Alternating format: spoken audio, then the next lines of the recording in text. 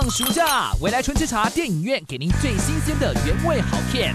八月每周日晚间九点，未来电影台推出五部精彩长片：诸葛亮、林心如、大喜临门、金宇彬、技术者们、吴君如、李国煌、小灵梅、李敏镐、江南一九七零、怨鬼。八月每周日晚间九点，敬请锁定未来电影台周日电影院。